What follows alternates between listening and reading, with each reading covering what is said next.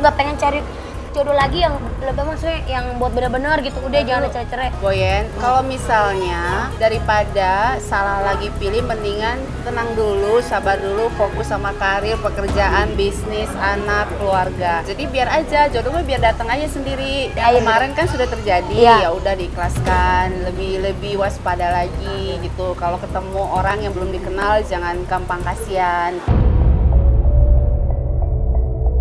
Pokoknya intinya Vicky dan juga Angel Elga ini masih dalam proses. Kita tunggu aja keputusan seperti apa. Tapi kita doakan yang Doa terbaik. yang terbaik buat kalian berdua Betul, tapi Kalau ini bisa juga- sih mendingan bayar-bayar aja udah berdua dah ya kan Kalau aku sih udah selesai, udah lama. Sebenarnya udah ketok palu juga dari pengadilan agama bahwa diketok palu cerai. Cuman kan dari pihak sana yang tidak ingin menceraikan, akhirnya aku yang gugat balik sekarang. Nah setelah gugat balik ya tinggal proses lagi. Alhamdulillah sebentar lagi diputuskan.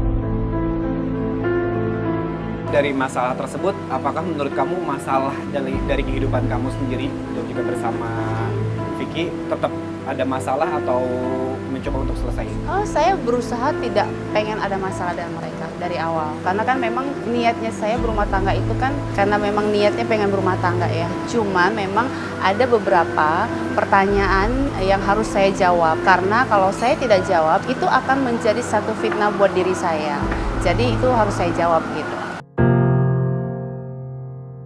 Menurut saya, saya harus luruskan ini. Sebenarnya saya tidak ingin menceritakan ini karena buat saya ya sudahlah yang sudah terjadi itu kan aib keluarga ya. Saya nggak pengen buka. Tapi saya harus menjelaskan karena kalau tidak ini akan menjadi fitnah untuk diri saya. Ya. Lalu saya katakan tidak ada mereka memberikan saya uang yang mereka katakan pada saat itu.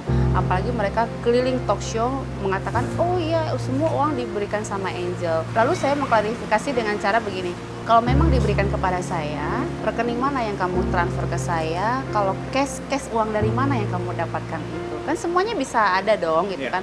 Dia mengatakan masuk ke rekening saya, ya saya tantang dia, rekening mana? Kalau memang benar tunjukin dong, iya kan? Benar dong, karena setahu saya selama dia dengan saya, dia syuting, uang syutingnya itu itu tidak lari ke rekening saya bahkan tidak ke dia tapi ada beberapa ke saudaranya dia dan itu ada bukti semuanya. Yang sebagian lagi itu dia tran- ditransfer ke orang lain karena dia harus bayar utangnya dia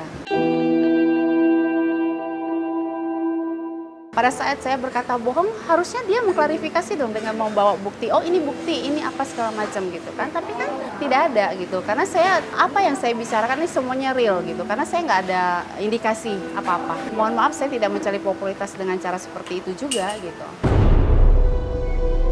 Pada saat itu apa yang kamu pikirkan? saya coba untuk tenangin diri saya, saya istighfar dalam hati. Walaupun saya tahu sebagai harga diri perempuan saya sudah dia hancurkan, tapi saya ingat banget itu saya bilang katakan, saya ingat Allah itu ada. Saya selalu bilang, oke, puas-puas kamu lakukan. Dia lupa satu hal, di rumah saya semua sudut CCTV itu ada.